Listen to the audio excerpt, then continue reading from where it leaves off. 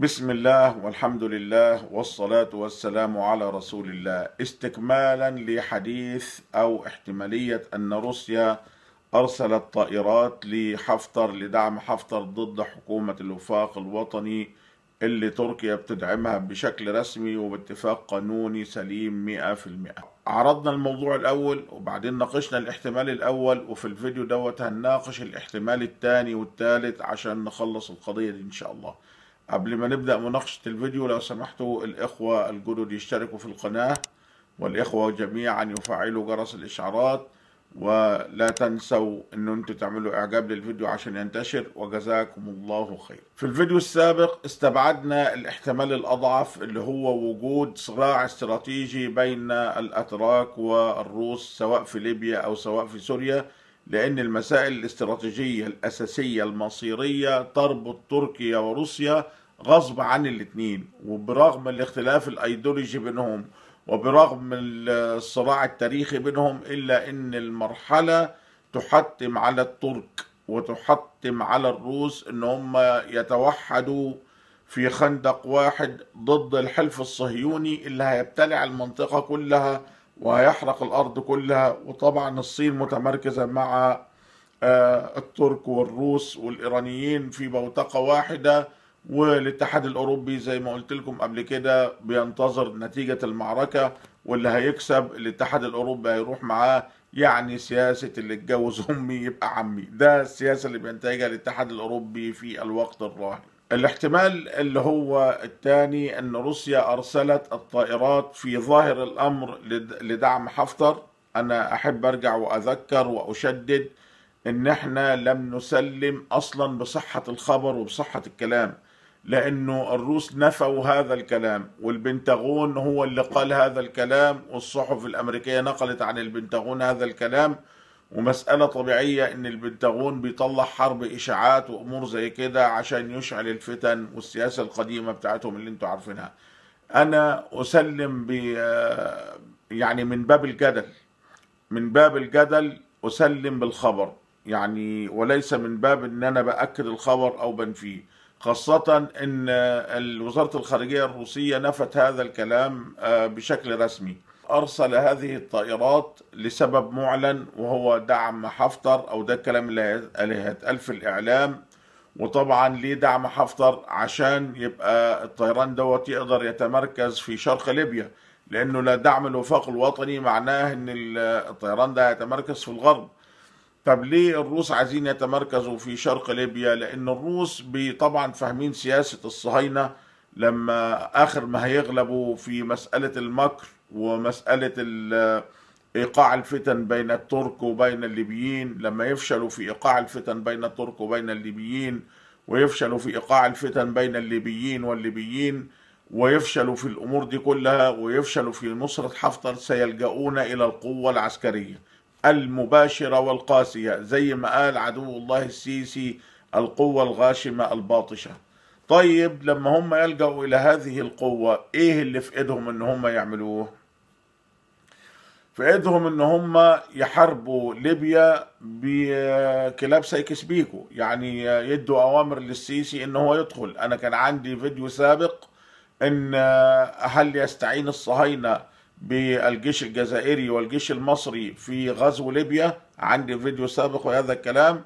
وكان تبون بتاع الجزائر كان بيعمل عملية يعني تغيير للدستور وحاطط من ضمن الفقرات إن هم هيسمحوا للجيش الجزائري بالخروج خارج الجزائر لدعم يعني لأداء مهمات تحت مظلة جامعة الدول العربية.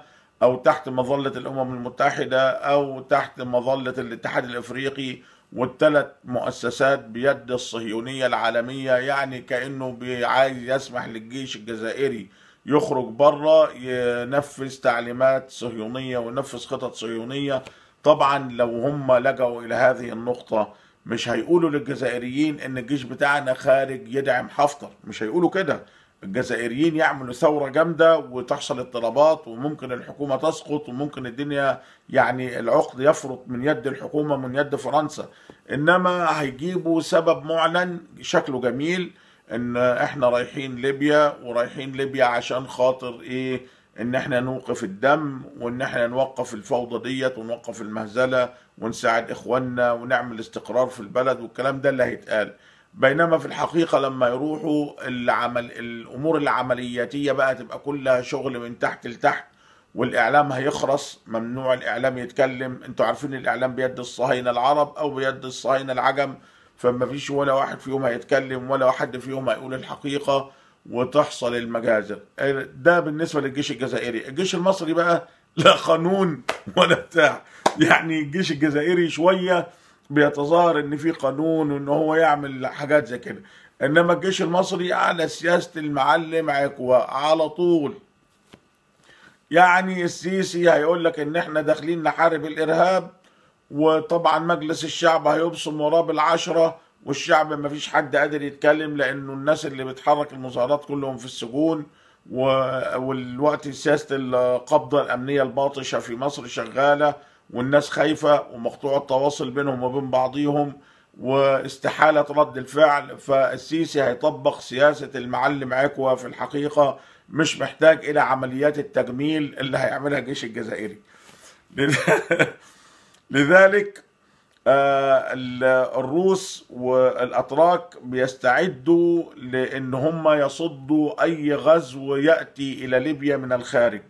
هيقول لك أي حاجة. لما هم يحبوا يعملوا غزو هيقول لك أي حاجة. والصهاينه الأمريكان هيقول لك والله إحنا ضد الموضوع دوت زي ما هم بيتبرؤوا من الإمارات الآن.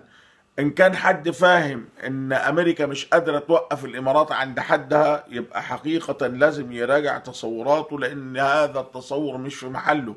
أمريكا بس تقول لأي حد من بتوع سايكس بيكو تقول له بخ لازم يبخ على طول. هي أصلا في الحقيقة كل أفعال الإمارات هي أوامر أمريكية وشغل مخابرات أمريكية وقلت لكم إن هم اعتادوا في الفترة الأخيرة إن هم يرتكبوا الجرائم بتاعتهم بيد عملائهم بدل ما يرتكبوها بأيديهم بشكل مباشر. ودي بالنسبة لهم أفضل وأرخص وحاجات كتير وما فيش مساءلات في ويبقى ما فيش مساءلات في الكونجرس الأمريكي ولا في صحافة تتكلم ولا أي حاجة يقول لهم والله مش إحنا اللي بنعمل ده اللي بيدبح السيسي اللي, اللي بتدعم هي الإمارات اللي مش عارف إيه إحنا ملناش علاقة اللي بيدعم ابن سلمان وبالطريقة ديت الإدارة الحكومية في أمريكا تتبرأ من أي مساءلة أمام القانون الأمريكي وهم أصلا مش سالين على أي حاجة. نرجع لموضوعنا طبعا روسيا وتركيا والصين وطبعا معاهم إيران في نفس الحلف لأن هو ده سميه حلف الإخوة الأعداء. سميه كده. لأن كل واحد فيهم ليه أهداف مختلفة تماما عن الثاني مفيش أي رابط أيديولوجي بينهم كلهم. يعني بس جمعاهم مصلحة استراتيجية وهي التصدي للوحش الصهيوني. وأنا شبهت لكم الموضوع ده قبل كده. قلت لك تخيل نفسك إنك أنت قاعد في غرفة والغرفة ديت راح مهاجمها وحش. إيه اللي هيحصل؟ أنتوا ان كنتوا قاعدين في الغرفة أربعة خمسة حتى لو بينكم مشاكل هتنسوا المشاكل وهتفكروا جميعا في كيفية التصدي لهذا الوحش وإلا لو ما عملتوش كده الوحش هياكلكم كلكم. وهذا حلف شنغهاي بالتعاون مع تركيا لأنها مش داخل الحلف بشكل رسمي. حلف شنغهاي بالتعاون مع تركيا بيتعاونوا مع بعض من هذا الباب لدفع هذا العدو الوحش اللي هيفترس الجميع. فلو أن روسيا أرسلت طائرات فعلا لحفتر الطائرات هتكون تحت السيطرة الروسية وقيادتها روسية وبتتلقى التعليمات من روسيا ومش هتقوم بأي عمليات إلا بأوامر من روسيا. فدي مسألة معروفة. فهذا الكلام معناه بيقول يا جماعة مش هنسمح بغزو ليبيا. مش لأن الروس بيحبوا ليبيا لا لأنه لو تم غزو ليبيا هيحبسوا الروس وهيحبسوا الأتراك في شرق البحر المتوسط من الجانب من يعني الشمال الشرقي للبحر المتوسط. وبالتالي تتأمن قناة السويس وتبقى قناة السويس آمنة بشكل تام وما يقدرش حد يخش الحتت ديت وده طبعا موضوع هدف أمريكي كبير. فروسيا احتمال من الاحتمالات إن هي بعتت الطائرات لهذا السبب أو بعتت الطائرات لحفتر لهذا السبب. وليس لقتال حكومة الوفاق الوطني. ولو الموضوع لقتال حكومة الوفاق الوطني الأمور هتظهر قريبا يعني مش بعيدة احتمال كذلك أن روسيا أرسلت هذه الطائرات وحطتها في الجانب اللي حفتر بيسيطر عليه والأمور ديت لأن هي عايزة ضمان برجماتي من الترك إن هم مش هيخلفوا الوعود معهم. يعني لو أخلفت الوعود معي بعد ما حكومة الوفاق تسيطر على ليبيا أنا أقلب الطاولة على رؤوسكم مرة تانية. وأنا قلت لكم يا جماعة 100 مرة قبل كده الناس دي لا تثق في بعضها البعض. الناس دي عايزة ضمان برجماتي. يعني أنا أتفق معاك على اتفاق وما أضمنش إنك أنت هتوفي ولا لأ. فلازم يبقى عندي ردع إن أنا أرضعك في حالة إنك أنت ما توفيش. يعني لو ما وفيتش هتبقى الخسائر فوق راسك أكبر من المكاسب اللي أنت تحققها بالغدر والخيانة.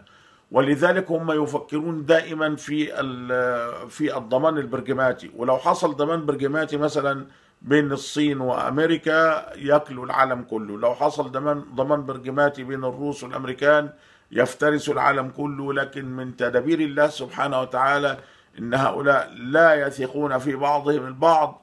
وما فيش حد فيهم يقدر يوفر ضمان برجماتي يعني عملياتي يعني ردعي يعني يعني الخائن يخسر بخيانته يخسر بخيانته أكبر من المكاسب اللي اللي هيحققها من إيه؟ من الخيانة. فممكن آه أن أصلا تواجد هذه الطيارات لو فرضنا صحة الموضوع. إن هي أصلا بتفاهم تركي مع حكومة الوفاق مع الروس من هذا الجانب. والله طول ما الأمور ماشية كويس وأنتم موفيين معانا واتفاقاتنا ماشية زي الفل والأمور ديت ادي إحنا مع بعضينا هتغدروا يبقى إحنا كمان إيه هنغدر.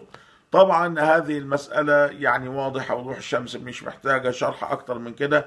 وأحب أذكركم بمسألة مهمة جدا إن هو المسألة الاستراتيجية بين تركيا وبين الروس أكبر بعشرات المرات من الخلافات الاستراتيجية اللي بينهم أو من الخلافات المادية اللي بينهم. لكن روسيا بتحاول إن هي تتعامل مع تركيا على إن تركيا يعني دولة يمكن هفأ. نقدر مثلا نديهم على دماغهم ونمشيهم تحت الابتزاز والحاجات دي. طبعا المحاولة والثانيه والثالثه والعشرة فشلت. الوقت الروس هم في حقيقة الأمر أعتقد أن هم أصبحت عندهم قناعة تامة أن تركيا رقم صعب ويستحيل التعامل مع تركيا من هذا المنطلق. وبالتالي لازم هم بقى يتعاملوا مع تركيا كذلك بشكل برجماتي. يعني في منفعة عامة لازم نحققها مع بعضينا. أنا ما أقدرش أحققها لوحدية وأنت ما تقدرش تحققها لوحديك. بنتعاون بنحققها وبعدين ما بنغدرش وبنقسمها على النحو اللي إحنا متفقين عليه وأمور زي كده. آه الشيء بالشيء يذكر. طبعا في حشود تركية بتخش كل يوم على الشمال السوري بس أنا مش هقدر أقوله في الحلقة ديت. إن شاء الله اخلي لها حلقه لوحديها يمكن خلال اليومين ثلاثة الجايين لما يحصل آه يعني اتضاح للرؤية. كذلك في آه الوقت كشف عن عمليات محاولات اغتيال أردوغان سابقة. وأنا بتابعها وإن شاء الله هعمل لكم حلقات عنها بإذن الله. جزاكم الله خيرا. وصلي اللهم وبارك على محمد ولنا لقاء آخر إن شاء الله. والسلام عليكم ورحمة الله وبركاته.